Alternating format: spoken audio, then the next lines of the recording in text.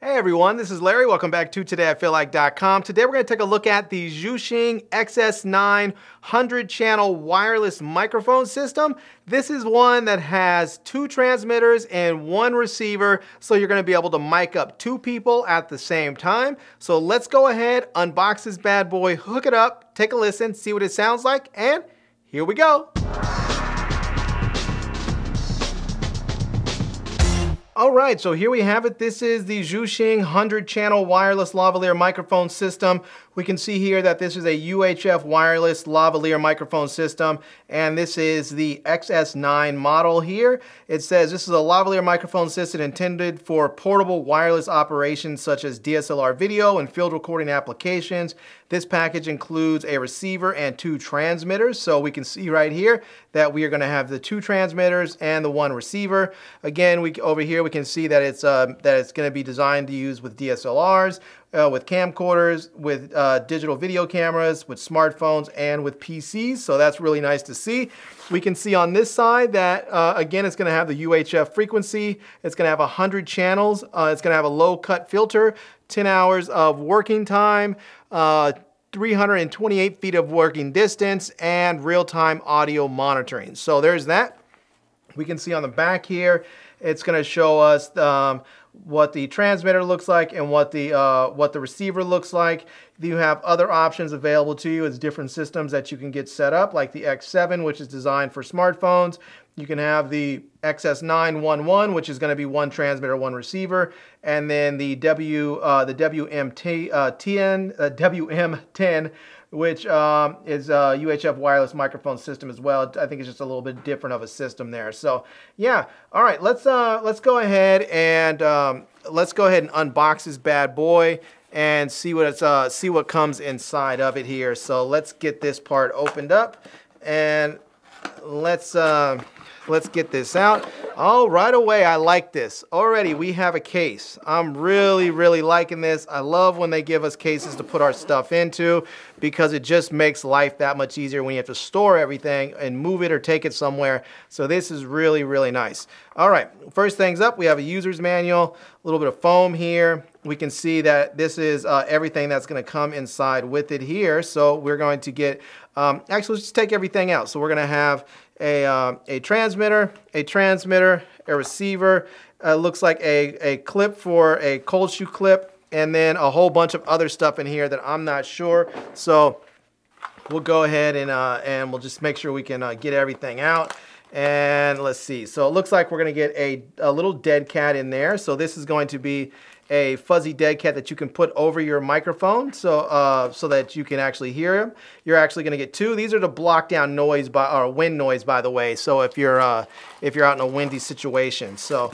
Um, we have the two antennas that are going to go onto our uh, receiver and then we're going to have a um, a smartphone audio adapter because we need a three a three ring plug to go in there so there's that and then we have a lavalier mic for one of the uh, transmitters, a lavalier mic for the other transmitter, and we also have some cables in here. We have um, we have the regular 3.5 millimeter audio cable, and then we have the 3.5 millimeter to uh, to XLR audio cable. So we're gonna get um, options for um, for both. So if you're plugging into an XLR camera or if you're plugging into an XLR audio recorder, you can go ahead and use the XLR cable. But if you're going into a regular mirrorless camera or DSLR like I am, we're gonna go ahead and use the regular 3.5 to 3.5 cable. So now one thing that's nice on here is these actually have the twist lock on both the um, on both the transmitter and the receivers. So you don't have to worry about these getting yanked out. You can just go ahead and twist them and lock them in and they'll be good. So, all right, we need batteries. So let's go ahead and hook some batteries up in these and then uh, and get everything set up and we'll test it indoors and uh, take, take it outdoors if it's still light outside and uh, try it out. All right, I did want to show you how you quickly put the batteries in there. Also, I want to show you the low cut filters on the side here. So to put the batteries in, we just simply grab this little thing right here, pinch it, and it comes right out. And you can slide the batteries right in there. When you're done, simply slide it in, push it in, and it locks into place. It's the same thing on the, uh, on the receiver as it is on the transmitter. So you can do that there. Now, on here you can see there is a mix and uh, and ST. I'm not sure exactly what the what the mix and ST is. I'm gonna have to look into that and find out what that is. Uh, but on this side here, you notice there it says low cut off and on.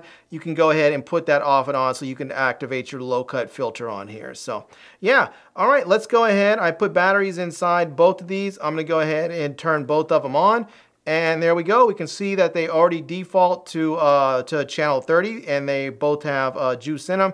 This one, my battery's a little low, so hopefully they uh, hang in there. But uh, let's go ahead and hook the microphones up, test them out now, and uh, see how they sound. All right, so I have the microphone system hooked up here, and it's running into my Sony a7R 3 and I just have the one mic, hooked up because I only have me. So, but if I have a second person that I need to interview or someone that's going to be a guest on the channel or something, I can mic them up with the extra uh, transmitter here. So, yeah. Anyways, um, this is what you can expect indoors uh, compared to what you were hearing before, which is what the way I normally shoot with like my boom mic and you know having it hooked up into my camera here. So this is the microphone just plugged in and it's uh, connected right here. It's clipped to my shirt. So anyways, this is what you can expect uh, indoors here. Let's actually go outside for a moment and test it outdoors because not only do I want to hear what it sounds like outside, but I want to just walk a little bit and check it, check it and see if I'm going to get any uh, signal dropout when I walk across the street. So let's head outside, try it out, and let's go outside. Okay, so here I am. I am outside now. I have the microphone hooked up. I have this uh, clipped on right to my shirt here.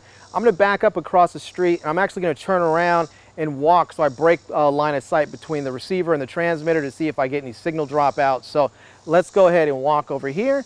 And now there is, there should be a, a, broken line of sight since my body's blocking the transmitter and the receiver. So maybe we're getting some signal dropout. I don't know, but we'll see what we're getting here. I'm across the street here and you know I'm curious to know what this sounds like. So this is probably I don't know 30 feet or so.